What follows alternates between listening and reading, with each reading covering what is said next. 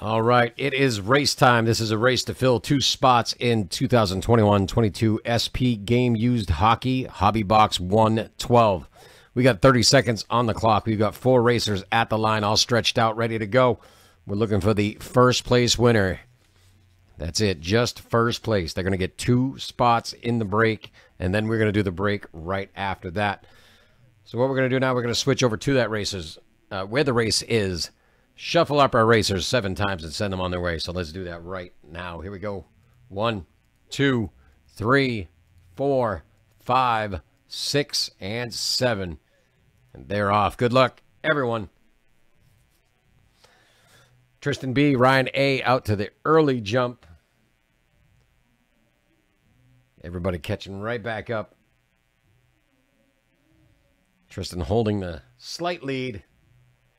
Will it make it all the way to the end with that lead? We'll find out here in just about mm, seven seconds now.